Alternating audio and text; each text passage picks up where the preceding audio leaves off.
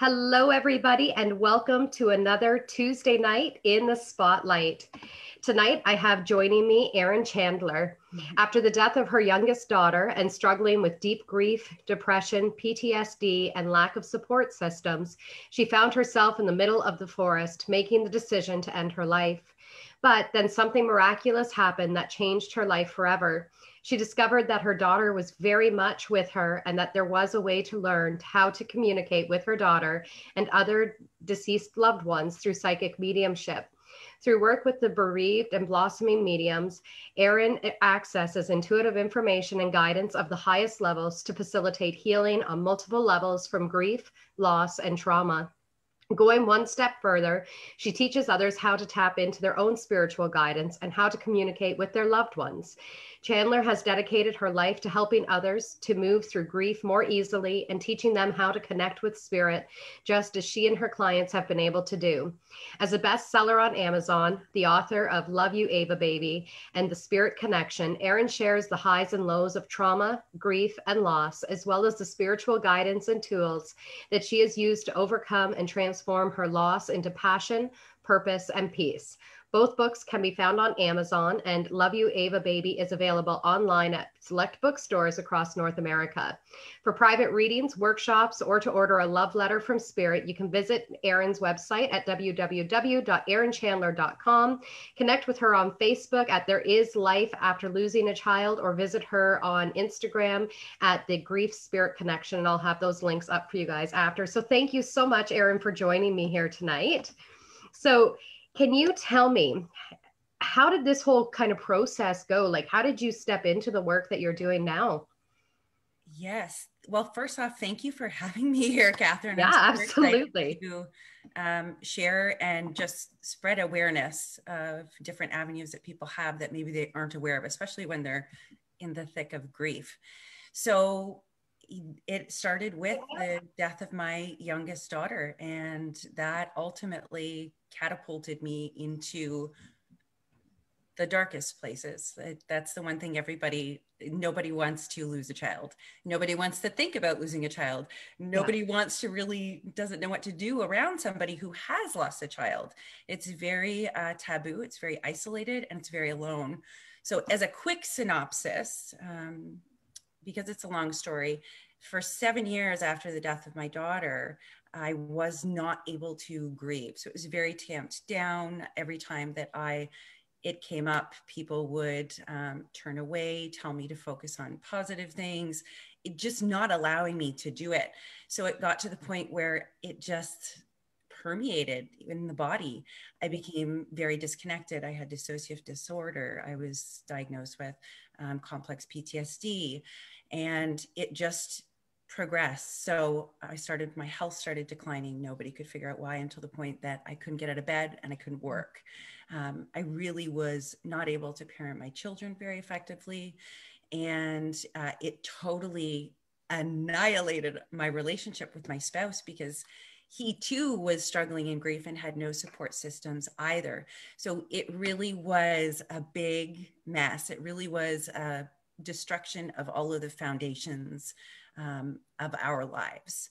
Mm. And typically, when you lose a child, that is kind of the norm, not the specifics, but in, in any grief, that's the norm. It blows away foundations. Um, the beauty of it is, is they're not foundations that uh, are meant to be part of your whole foundation. And I think that's the part where we get disconnected. So what happened was is i got to the point where you know i had no spouse i was so sick nobody could figure out what was wrong with me i was so tired i hadn't grieved i was trying to look after two other children and i just was not okay. So i went to the middle of the forest and um, i yeah i i surrendered. I said i give up and i made the decision i was going to end my life. And then the pivotal point for me was when i actually surrendered surrendered to trying to figure it out and like grappling every day. Once I surrendered and did that, within a couple of days, a woman that I know called me and knew everything that was going on. And I had told no one about some pieces of this. Um, yeah. And she said those exact words. She says, I'm hearing that you gave up, and your daughter is saying you absolutely cannot give up. it's not your time. You have to figure out how to do this. So, literally, a medium saved my life. Wow. I would not be here today if it was not for that woman who went totally out of her comfort zone, out of the blue, not knowing if any any of it was accurate. She literally saved my life, and that is powerful. And that's part of the reason I share my story, um, because a lot of people in grief are faced with living half a life. So what happened from there was the second I realized that my daughter was still alive and around me in spirit, I wanted to live. I wanted to get better. I wanted to make a difference. I wanted to be there for my other children. That was literally the thing that I needed to keep going. Um, for a lot of people in grief, it's hard to keep going every day. It's hard when you're you're grappling with that darkness and the waves of emotions and things like that, especially in isolation. So ultimately, that put me on a whole journey, Catherine, of not only learning how to connect with her which was how it started out it was a slow process and that's one of the things we'll probably talk about today is how that process looks uh, but also being able to teach that to others it all as soon as i started working with others trying to help them with grief initially i was like oh i want to get rid of their grief. But as i progressed along with it and as more and more people's children and spouses and husbands and fathers and brothers and you name it started coming in um, the story became very very clear. It was not about you know i don't feel grief anymore. It was actually about embracing what grief actually is not what we're taught it is so it's it's been quite a journey to now, say the least. can i ask what would your experience with grief be in embracing grief versus what we're taught it is? Because i know for myself for a lot of clients it's i need to get through this. I need to get over this. I need to stop grieving. It's been 5 years. It's been 10 years. And to me grief is just it's a journey that you're just always on. Mm-hmm. so i like to separate it. So i look at it as when we think about grief we think about all the emotions that come with it. So, anger, shame, guilt, regret, blame, um, loss, all of those things we lump into one little word called grief. Yeah. But if you look at the concept, grief is really just love. It is literally the full spectrum. If you want to know how much you loved someone when they die, that's when you really realize the depth and the breadth of their love. It mm-hmm. really is a full circle. So I like to separate it. If grief is just love, I am more willing to open up my tears. I'm more willing to feel all the things that come with it. And in addition to that, I've separated the anger, the shame, the blame, and the regret. Because when we think of, you know, if somebody betrays you in a marriage, we look at betrayal, but really betrayal has all those emotions too when true. you look it's true. Any situation has all those emotions with it. So we've been taught that grief is all of these bad things. Why on earth are we going to want to go there?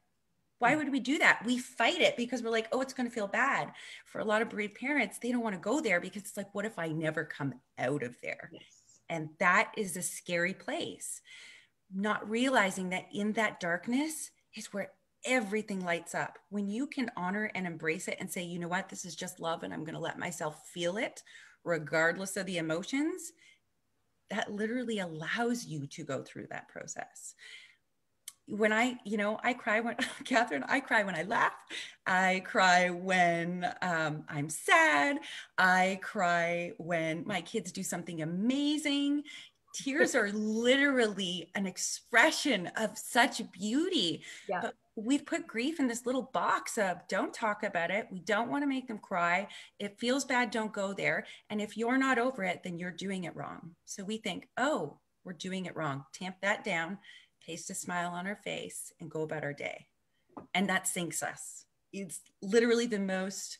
Uh, when I think about grief, I think there is no human being that will never go through loss of a loved one. Yes. So, why are we not talking about it? Why are we not supporting each other? Why are we not giving each other the tools that we need in the shoulder to cry on and all that jazz? Like, why is this, why is this not talked about? Exactly. Life, death, and taxes. We talk about taxes all the time. We celebrate life all the time. But this third thing here is really important. And there is Absolutely. a reason, a spiritual reason for grief. Um, and I think that's one of the other things we'll probably touch on too. yeah, absolutely. And I think what you're saying is so important because death of anybody is not something we can escape from. Yeah. It's whether it's we're gone first or someone else is gone before us, eventually all of our lives are touched by death in some way, shape, or form. So why aren't we talking about it? You're 100% right on. Yeah. Yeah. So, what do you believe then is the purpose of grief for us on a human experience and also as a soul growth or a soul purpose of it? So, my understanding, both from the information that I get from spirit guides, angel, um, God, all those types of things, um, in addition to working with clients and people going through the grief process, both through uh, through my program where it's intimate um, on a consistent basis, even in just in medium readings. My understanding, having come through the process of grief to a point where I am grateful for the loss of my daughter. So to get to for somebody to say that, it's scary for me to say that to you. And the okay. reason it's scary for me to say that is who would ever think that they would be thankful or grateful for that kind of a loss. Um, so, can I just interrupt you for yeah. one second?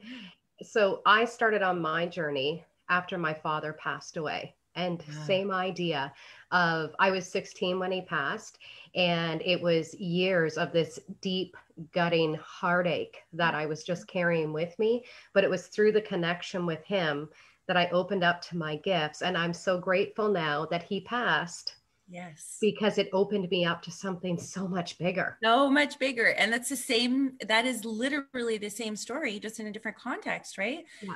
That is the piece that allowed me to come through to all this. I wouldn't be sharing her story. I wouldn't be talking about grief. Um, I wouldn't be doing what literally is my life purpose. Yeah. That was the catalyst. Um, do I think about her every day? Absolutely. Do I cry and laugh and smile and talk to her all the time? Absolutely. Um, and I am eternally grateful. So for me, that's that's a really good outlay because it is hard to hear, oh, I'm thankful for that loss. It's almost like, oh, it goes against everything we've ever been taught, feel, goes against all of those things. That's why it's so scary to come out and say that. Um, for me, it literally was the gift of myself. That was the gift that she gave me. Mm it is breaking the purpose of grief is to fully open your heart up and to break down all the layers that do not work, that are not true, that are illusions, to allow you to become into more of yourself, to find real joy, not, you know, the societal construct or institutional concept that we are taught that you're supposed to be happy. It eliminates all those things. It gives you freedom, it gives you peace. And for me, that was like taken off the shackles. It really was. And I think for a lot of people, once they come to the realization that their loved ones are there and they can see them, hear them, feel them, know them all the time, it changes everything. Just like you, Catherine, it sparks a whole new journey when you're willing to allow it to. So if we're not willing to look at the grief piece and we're struggling to do it in the mainstream type of way, sometimes we don't get to that thing until we surrender. So you'll notice I spent seven years in that mainstream. It yep. didn't work until I surrendered. And it was like, oh, here I am. yeah. So it's really quite um, fascinating. And the thing about it is, grief, in a sense, it really, I welcome it. And I welcome it because it acknowledges that I'm going through change. Everything is changing in life, nothing will ever stay the same. And grief is a real acknowledgement to that. It is um, really drawing on your soul to come out of itself. It's asking you to look for more, it's asking for you to be more authentic.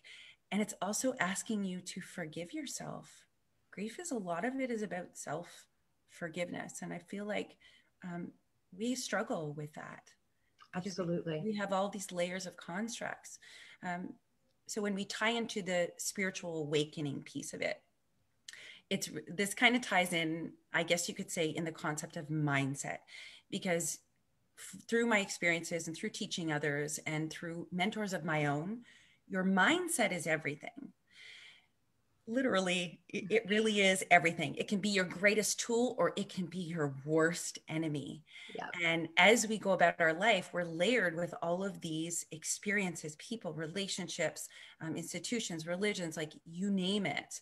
Um, grief allows us to be able to explore the brilliant cover up that we inherently don't know what's best for us that mm. we inherently don't have the answers um, that you need to listen to what somebody else is saying outside of you because that's how you validate. So, grief allows us to look at that. And I feel like that's where a lot of people struggle, both in learning when they're learning to connect, tapping into their stuff, um, and through the grief process. Because literally I, when i look at it it really is the most brilliant cover up when you think about it to tell to teach us from a very young age through our ancestors who are also compounding because that's all they were taught too yeah. is you know be afraid of it. It's associated with the devil.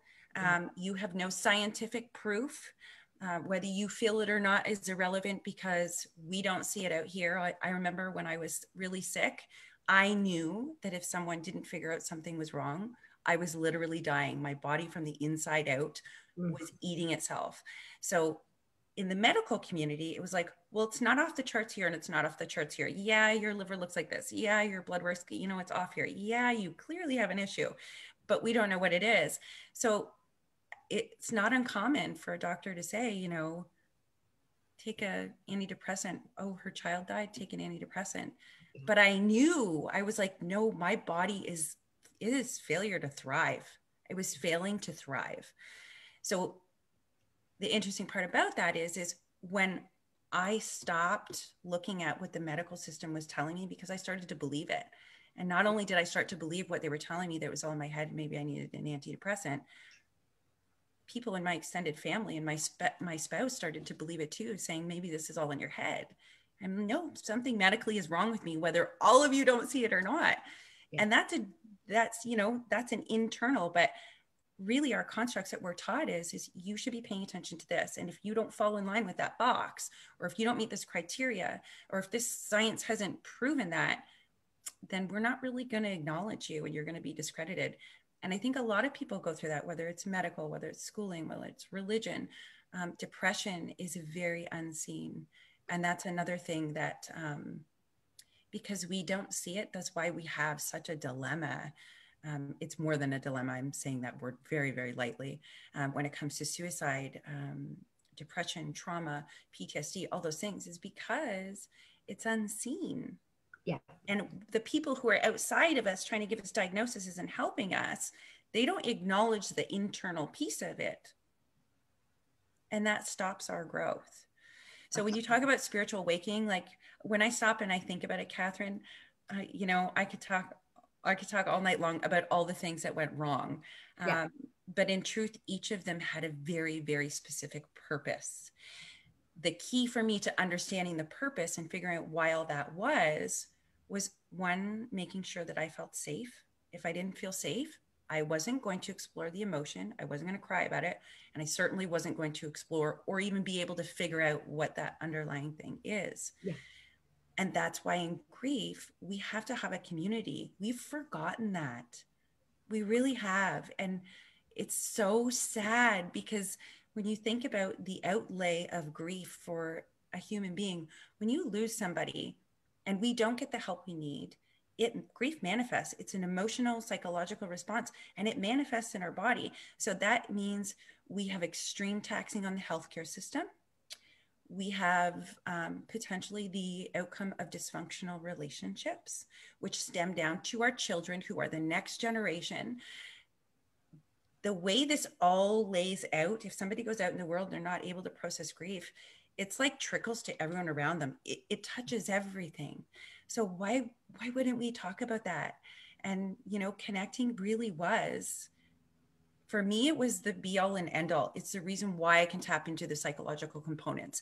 It's the reason why people have readings with me and they feel better afterwards because they've been able to have that connection and have understanding and know that it is real.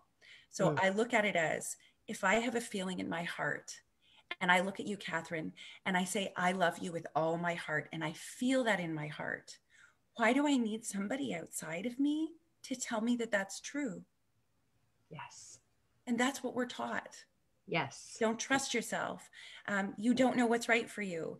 And there's so many layers of that. Grief really is, if you allow it to be, the unraveling of all that, the coming home to yourself and being in full connection with your loved ones. It's the best thing ever. Honestly, it is it, the feeling of knowing that my daughter's beside me or she's saying something. I'm like, oh, yeah, I forgot about that. To have that experience, yeah, it, it's elation. It, I, it feels incredibly safe. I feel that it allows me to move in the world. It allows me to help other people. And it allows me to feel joy because at the end of the day, we don't die. Our body dies, but we don't inherently die. I am forever, you are forever. And mm. we fear death. We are taught to fear death. And it, you know, we have to have a different conversation about this when I die, I don't want my kids to suffer and struggle with regret and shame and blame. I literally want my children to grow up and know that when I cross over and it's my time, that I am talking to them all the time. Yeah. I want them to know how to look for the signs and messages. I want them to know that I'm crying with them, I'm feeling everything with them so that they can thrive. Yes. And everyone who's passed before us is saying that to us. That is their message we want you to thrive. We, we're with you. Like, let's do this. I got you. But our social constructs and the things we taught really eliminate that for us. Mm-hmm. So, and you know, it's so interesting because when you actually talk to people who have experienced grief in some way or another, everybody always goes, I know I got a sign in this way, or I know I got a sign in this way. And the more you talk about it, and the more people see that these signs are actually happening, they're not going crazy or anything like that. It's there's so much more comfort that comes in it. And we don't need proof. I know after my father had passed, there was certain signs that were coming forward. And at first I'm like, am I am I going crazy? Like, is this really a sign right now? and it's i mean here we are 21 years later and it's still the same signs that he's sending me so i know he, you're around you're around you're around you know and again it's it's about that conversation with people that connection with other people it is and you know what's so fascinating i'm so glad you brought that up because you know a lot of people when we get signs we doubt it yes. despite the fact of knowing in that moment this is what it is we then we our brain kicks in for all those layers of things that we are taught. And that's part of the reason why we did it because we don't trust ourselves or we haven't really opened up that journey enough for us to be like no i know that. And it really is fascinating. And you know talking about getting signs and spirits and mediums and psychics and all that stuff is also taboo so I feel like it's an added layer. So I always find um, when I'm talking to bereaved parents, it's like this subject that they know they can only talk to certain people about. When I go into this room, I will never talk about this because it's not safe. They'll think I'm crazy. I might lose my job. Like the list goes, it is, it blows my mind. So the, the sim, one of the tools are people who are channels that have this God given access to help you and it's a secret. And not only is this a secret but our social you know tv all of those things movies like we're taught that you know they're not for real they're fortune tellers they're flaky they're this they're that. And i'm god they're just scamming your money. Yeah like that whole jazz. Do you know how many people are have said to me i trust you erin but some of them are charlatans. And it stops me because I think to myself, then you don't understand what we do. Because you know, at the end of the day, when when everyone goes to um, goes for a reading to a medium or goes to see a psychic or goes to see something to that effect, if they can go without that label, they'll understand that we're actually feeling their emotions for them.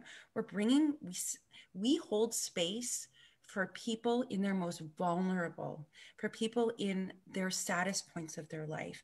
Sometimes they give them guidance towards their happiest or validation, which way to go. To have that discredited in such a way in mainstream, it's become a fabric of you know a, it's become a piece of the fabric of our life that it's not to be trusted so i always think to myself it's fascinating to me that one of the greatest tools everyone is an intuitive it's not just you and me every single human being was born with access to the tool of their intuition, whether it's claircognizance, clairsentience, um, clairvoyance, and all the other clairs. We all have access to them. Mine isn't going to look like yours. No. I would have to be you and lived your life. Yes. And that's where people get hung up, right? We we look at it being done one way and we think, "Oh, it's supposed to look this way." not realizing that we have our own specific skills that's unique to us. And when we're willing to delve in and tap into that, it allows us to see our own magic and have that connection. If I could learn to do this, because that's what I did, I didn't just, you know, I haven't been hearing dead people my whole life. Yeah. No, I, it, it, all literally is learning and cultivating um, and doing those things like that which I don't know if you want to talk about um, that specifically. No, absolutely. I was thinking I this conversation. Yeah. So, you know, learning to connect with spirit for me um, and for most of my clients really was a game of how do I explain this in a way that is the most beneficial for the most people? It's a game with yourself of trust, of doubt, of faith, and of being willing to walk where you've never walked before. So the Dalai Lama has this great um, quote, and I'm probably not going to quote it exactly.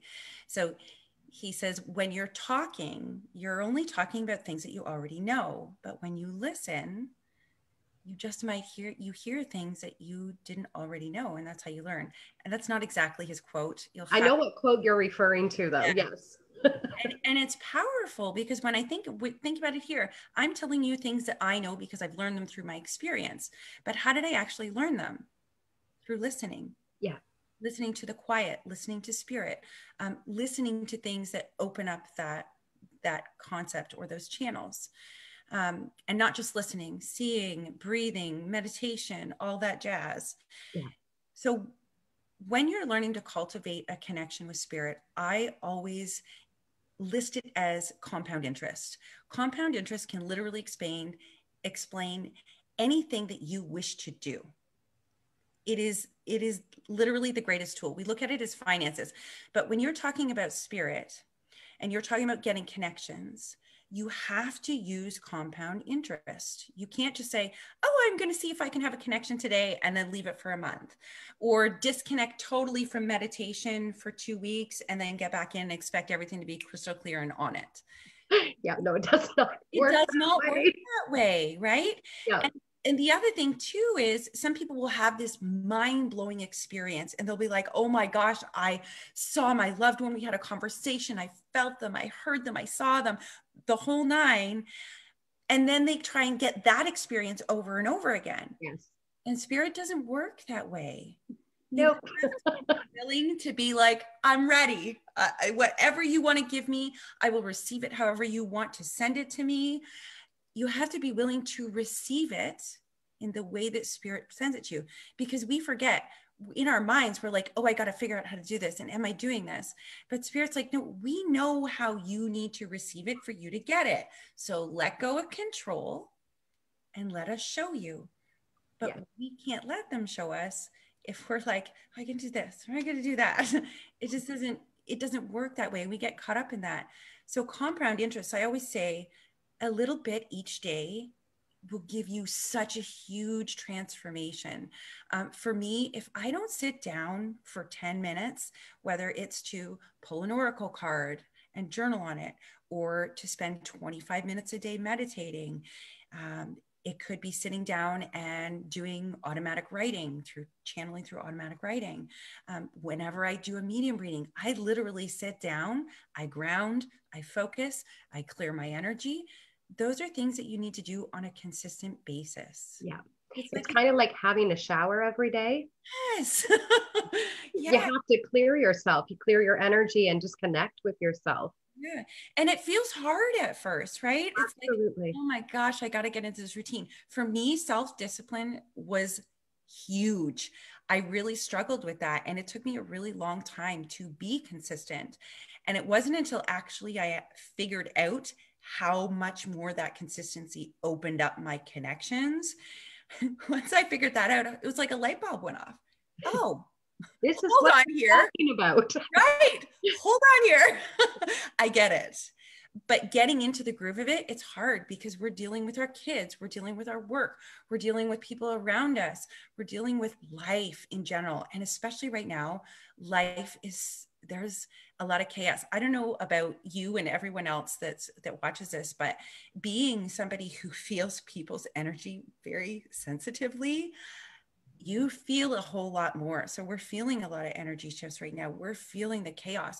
We're feeling the hurt and the pain, both through all of the stuff that is being really amplified about racism that's happening, whether it's indigenous, black, all of it. Not to mention, you know, women, the women's rights and movements and feminine divine power.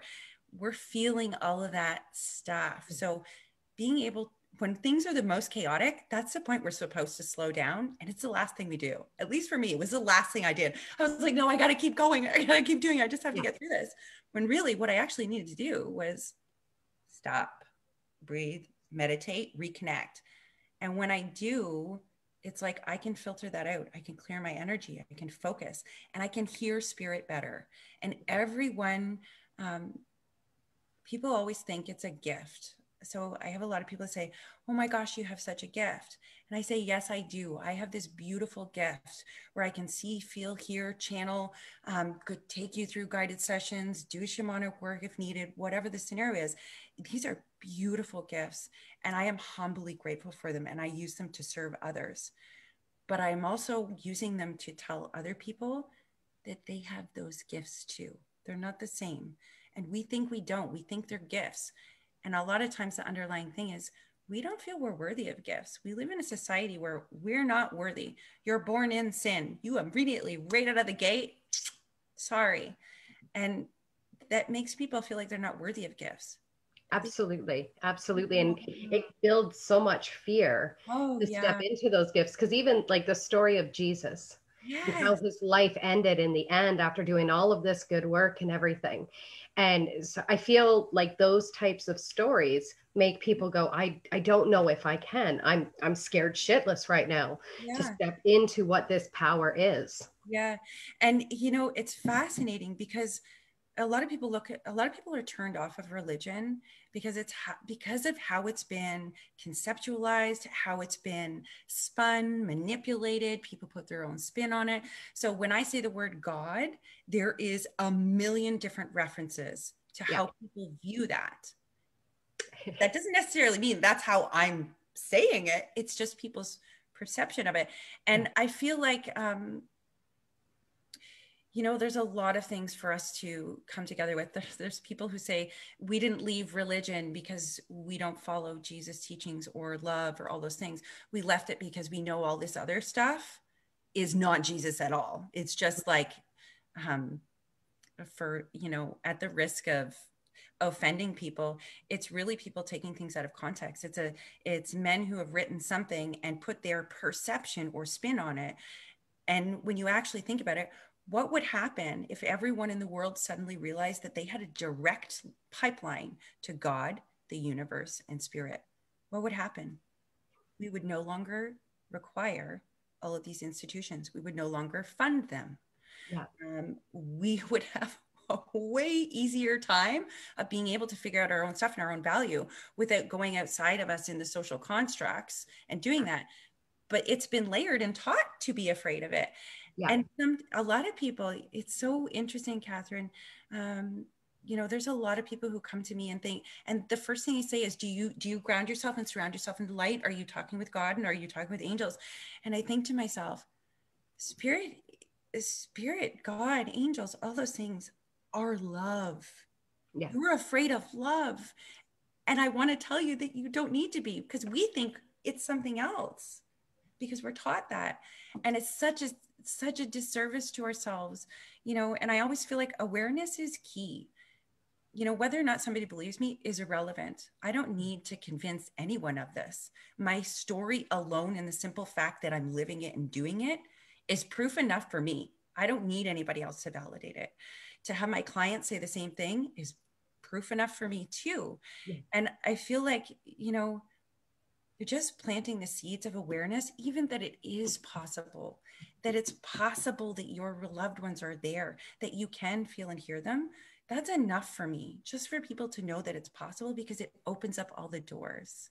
And I always feel like Catherine, everybody's everybody has this feeling, you know, when somebody's light shines, that it detracts from them. When the truth is, it's the opposite. When you shine your light, it's like everybody else gets to shine their light too. You're giving yeah. them permission. And we that's another layer of things that we've been taught, right? Yeah. There's so many constructs of it. And I'm going on about this. That really wasn't what I was going to talk about tonight. But that's I think okay. I think it needs to be heard. It.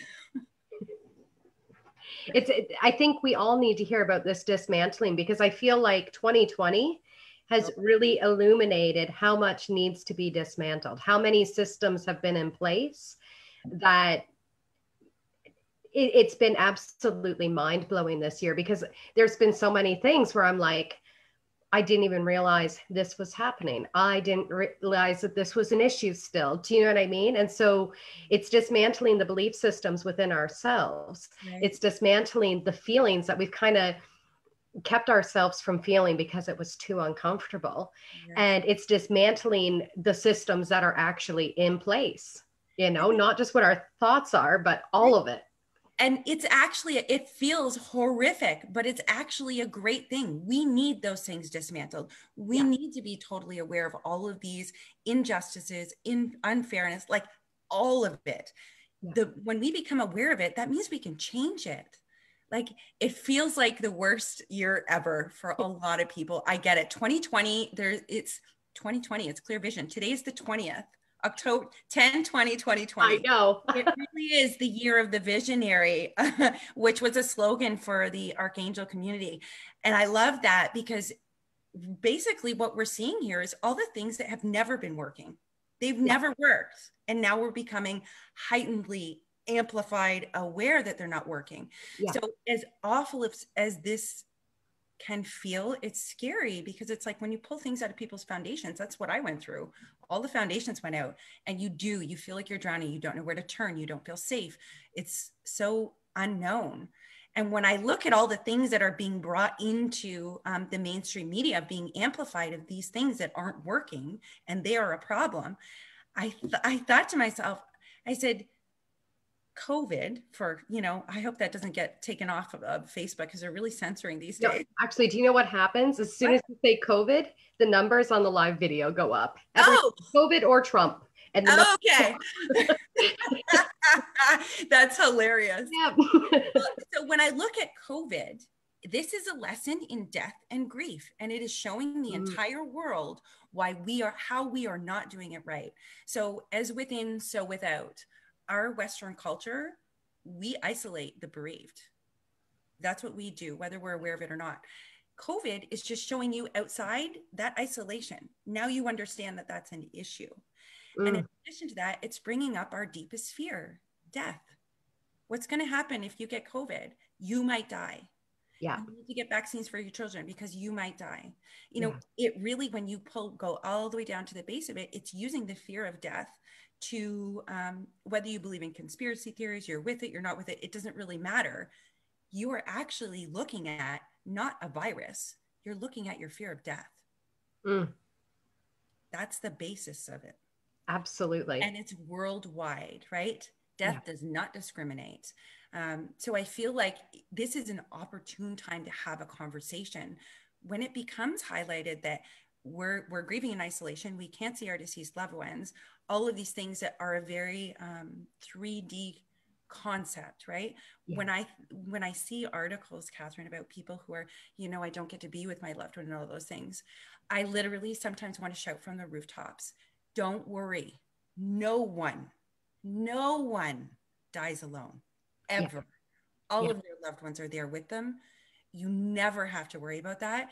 And if everyone knew that, it would really help them to be able to ease, go through the grief process, and open up this channel, which it's ultimately intended to do is to connect you deeper to yeah. God, to spirit, and to your loved ones. It's not meant to shut you up and don't feel bad. Yeah. That's that's our um, societal way of dealing with it. And it's broken. It's always been broken. Let's be real. Absolutely. Just saying. Because it, it is a very, grief itself is a very taboo subject. Mm-hmm. And I don't know how many clients I've had that I've, I've got quite a few actually who want to write books called Shit Not to Say to People in Grief. Yes. And it's like those, well, God has a plan. Everything happens for a reason. And all of this, which is all absolutely true. Mm-hmm. But when you're in the depths of grief, the yep. last thing you want to hear is that you've lost your child because God has a greater plan for your child, you yeah. know? And even though I can see in hindsight how that has always come to light, mm-hmm. to me, it's not something we can be told. Exactly. It's something we need to experience. Exactly. And most people don't ever get to experience that if they're just following what the society is telling them to do. And you're so right. And I, I hope they do write books because the thing is, is people, you know, when I, I just wrote an article actually that touched on this for um, infant and pregnancy loss, mm. medium.com. And it, it really is about awareness. That's it. You know, I know that when you're telling me it's God's plan, I know I know that you're not trying to make me feel worse, that you're not trying to make it um, the thing that you're saying isn't in alignment with what your actual intentions are. Yeah. But that's because we're not aware. And the reason we're not aware is because nobody's talking about it. Yes. And if we talk about it, you know, then guess what? My neighbor down the street who watched one of my podcasts, when their other neighbor or somebody else passes away, they're going to know, oh, I shouldn't say that but I can just let them know I'm there for them. Um, I can do this and I can do that because it literally is just awareness. It's not that we're pointing fingers and saying we're you're doing it wrong because a lot of people have shame about that. I did, Catherine.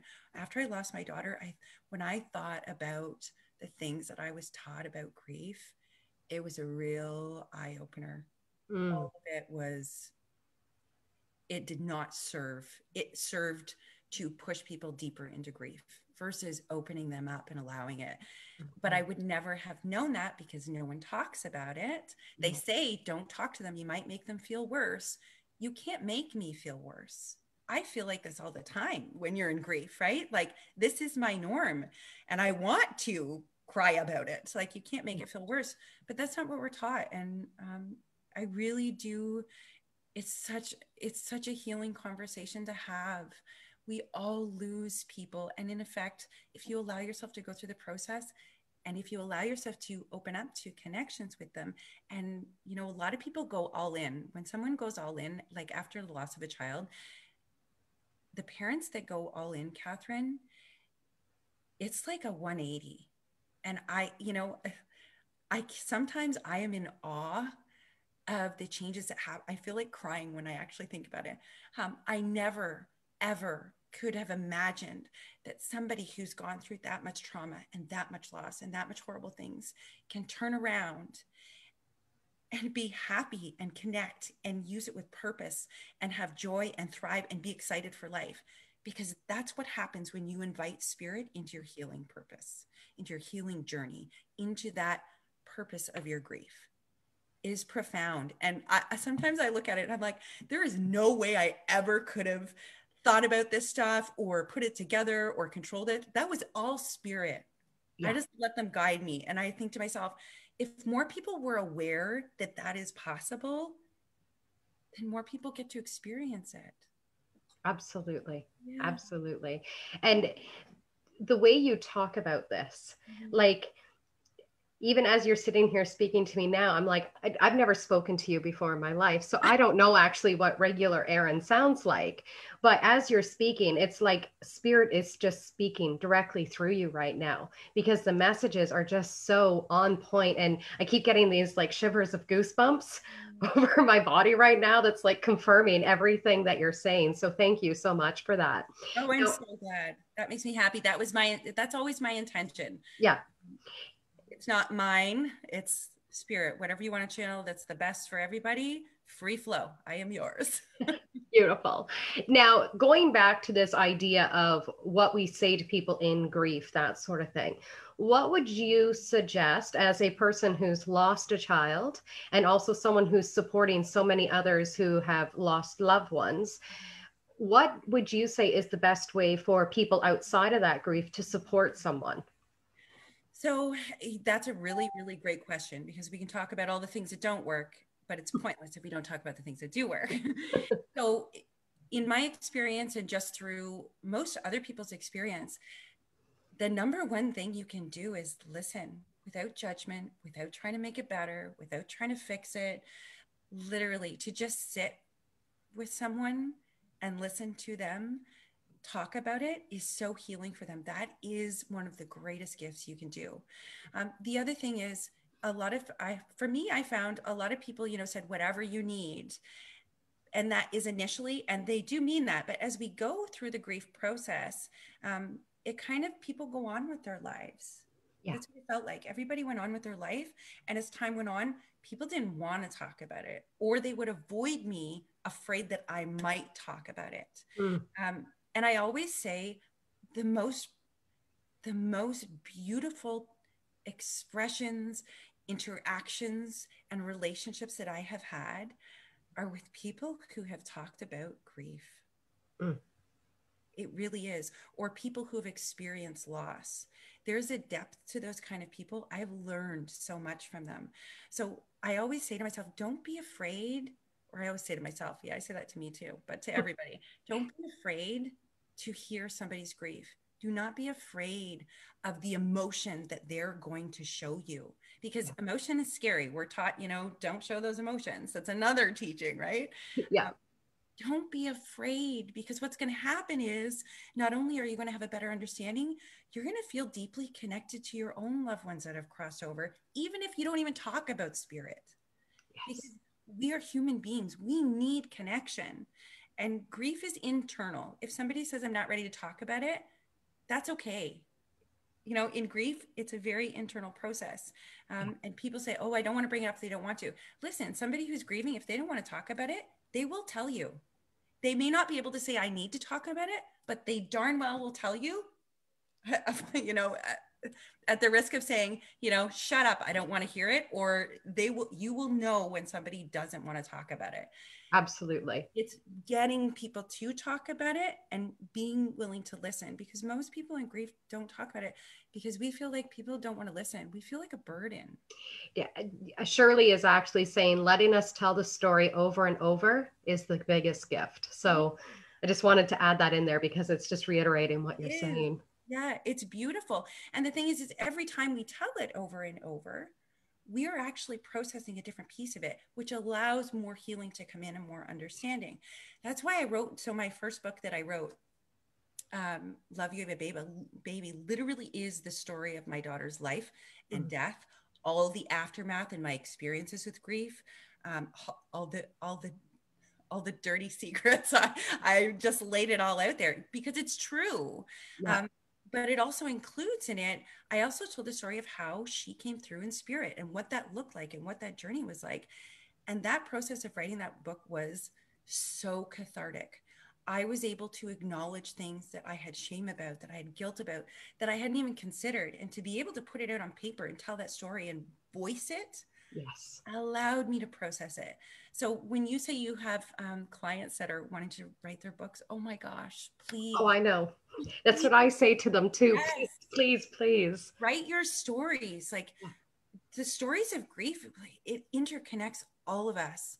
Um, if you feel a certain way share it. And that's really for the grief side but for people supporting somebody in grief back to the topic. I got sidetracked. Um, yeah we go back to that concept of how to support somebody in grief um, be willing to listen. And allow yourself to not need to fix it. We're very much um, human beings that feel like oh i need to fix that and we realize we can't fix it. And that's what makes us hard for us to support somebody in grief. Even me sometimes i have to check myself um, when somebody who's close to me is grieving and i have to remind myself you need to just listen. You need to encompass them. You need to reach out to them. Um, mo- one of the most touching things someone ever did for me was um, every year on my daughter's birthday i would receive flowers there's actually a couple of people that did this i would receive a card and flowers saying our loved ones names yeah. we need you to do that because it validates that their life touched yours that their, vi- their life was important and that you recognize that they're still a part of our life, even though they've transitioned. So just acknowledging them as time goes on, I feel like um, in the people who are supporting those who are grieving, we feel like maybe we shouldn't say the name because we don't want to bring up things. Mm. Please say their names. Please acknowledge them. Please give me the opportunity to talk about my loved one. Um, that is, it, it's so it's profoundly helping and healing because just because you don't see my child beside me and she's not in school with your with your children does not mean that she's not alive it yes. does not mean that she's not as valuable it does not mean that i do not think about her every single day and in grief we tend to if we don't see it then we go our own way so supporting yeah. them is just acknowledging their loved one um, listening when they need it um, offering support. They may not take you up on it. I'll tell you that. Sometimes bereaved people have a hard time reaching out for support. Yes. They feel like they're drowning, they feel like a burden. Um, sometimes just getting out of bed is literally a monumental feat, something to be celebrated, in all honesty. Yeah. Um, so I think, sorry for interrupting. I think when we say to people, if there's anything you need, just let me know sometimes you almost need to be that person to go so i'm bringing over supper at five o'clock yes. do you prefer this or this yes. so then it's kind of taking that away from them to ask for help and going i'm going to help you no matter what here's your choices you know absolutely and and i feel like people who are supporting someone who is deep in grief having the awareness of what to do makes all the difference in the world because when they know it, they can talk about it and they should take the lead rather than backing off. Um, wow. Like, imagine if everyone in the whole world understood that this is how we support somebody in grief or can support someone in grief when they're ready for it. Yeah. Wow. Like, the ripple effect of that is tremendous on so many levels. When I Absolutely. think about all the people carrying around grief and how I carried around grief, I do not know how people do it for their whole life. It literally came this close to killing me, which yeah. my children lost out, um, which means my whole family lost out. Um, it affects everyone. It's such a huge topic. I'm so happy to be here talking about it, Catherine, just to give people awareness, either to validate for bereaved or to give those supporting them awareness. It's yeah. so it's so it's so dear to my heart, clearly. I, I, love your passion for it and the amount of raw emotion that you're willing to put into it as well. It's it's beautiful. Now I do want to ask, what um, are the three key ways to connecting with your loved ones on the other side? Right. Uh, so I usually set this up. Your first one is your imagination. Okay. So everybody so. I, I heard this all the time. That's all in your imagination. Nobody saw it or that girl's got a big imagination. Mm. So when we go through our daily life, our imagination when we're a child can sometimes be encouraged or discouraged. But as you come into adulthood, we're discouraged to imagine. Mm. We get it's like you move into adult mode and it's like get a job, do the responsible thing. Do you have savings? Um, if you shouldn't be out traveling, you have kids, you don't need a vacation. And all these things are suddenly layered on top of us. We don't imagine anymore. So when you think about it, everything the chair I'm sitting on, the desk I'm sitting at, Apple, iPad, those people chose to imagine. It doesn't mean they knew all the steps to get there, but they imagined this thing in their head that could be that didn't exist. Now imagine that nobody did that and the internet wasn't created and we didn't go to space and all that jazz we were required imagination to do that. Yes. So people often say, you know, when I connect, um, clairvoyance for me is literally projected through my vision, but that's in my imagination. It's in my mind, I guess you could say. And a lot of people discredit that. They get a lot of people have clairvoyance where they're seeing in their mind using their imagination or they hear thoughts when they're hearing some people think oh it should be like you and me talking right now i hear it and some people do it, it's profound and i wish i had it like that but i don't and that's why it took me so long to hone my clairaudience because I thought it should be like that person over there. And yes. it's just like it's exciting, but it's not. It starts off as this, well, I shouldn't say it starts off as soft and subtle. Um, because sometimes it's like spirits yelling at me. The thoughts are like, hello, can we get back to this? But that tool is being able to um, recognize if I'm allowing my thoughts to come in, that's how spirit, that's how I talk. I'm channeling through the thoughts that are dropping in that technically are not mine. It's not me, little Erin over here who thinks she knows everything. They channel and come through. I couldn't come up with that kind of wisdom. Oh no, not little old me. For yeah. sure, no. Um, so your imagination. So that is huge. If you can get over that hurdle and that concept of it's in my imagination, you're you're golden. Like you're going to be smooth sailing. Yeah. um, one of the other keys that i also say is the compound interest. That's one of them. Yes. The compound interest is um, if you are willing to devote 10 minutes a day that that is a golden ticket right there. So that's the other thing. The third thing is it's actually interesting because a lot of people um, think is that really one of the keys but it actually is okay. so the third key is um, what you believe. Mm. It doesn't matter if you use your imagination, and it doesn't matter um, how many times you go through doing things over and over. If you are not willing to believe, even if it's just 1%, so you can have, if we're at 50 50, you just need that extra 1% of belief. You really do.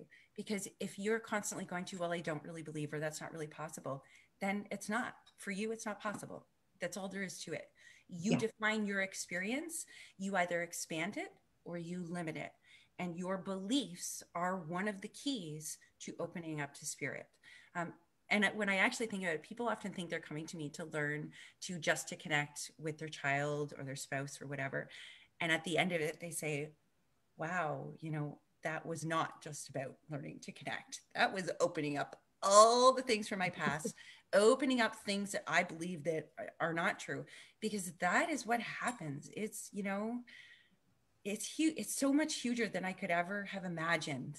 Yes. Or even conceived of.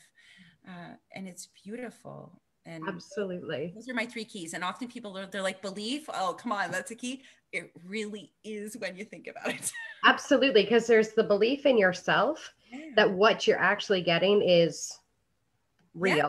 And then there's belief that there's actually something that exists because even, and I know for myself doing this kind of work, there's times where I'll get stuff. And then afterwards, I'm like, I can't believe how good that was. Yeah and my husband has said to me, I don't know how many times, you do realize this is what you do for a job, right? That's how I feel too. It's like, whoo, mind blowing. Yes. and it's so funny that as much as we believe it, we can still see that there still is a little bit of disbelief yes. that it could possibly be true, that it could just be this miraculous that we're able to experience mm-hmm. it and stuff. Now, I know you have a workshop that's coming up. Yes, I do. Yeah. It's actually um, learning the communication. It's experiential. So it's learn to communicate with your loved one. Uh, so Beautiful. basically, what that's on the 30th, actually. That's coming up soon. Very and, soon. Yes. Yeah. Time is flying. really is. going on the time space continuum. So, the workshop is actually a brief evening workshop where I actually lead you through more in depth of what those keys are and what they look like and um, just drilling down into the basis of them to help people to do that and learn. And then we go through an actual guided experience where I'm going to guide them with my guides. Spirit comes in, they have their own connection. And then we go through their connections so that we can validate each other's and open that up. Because when we go in a group of people, that energy is amplified you and I talking amplifies the energy. Yeah. Um, when you get into a group of people who come together to connect, I am always, it's like shock and awe afterwards. It, it's mind blowing. I think, oh my gosh, I can't believe that happened. And it never fails. It's like spirit's got your back. And, yeah. you know, for a lot of people, um, when I first started, like I had hesitation doing workshops and things like that because it was like, yeah. And it wasn't until, you know, I started taking them that I realized that if if spirit can tell me all they want to and give me signs to do different things but it's not going to matter if i don't actually take the step to do something yes. or, you know?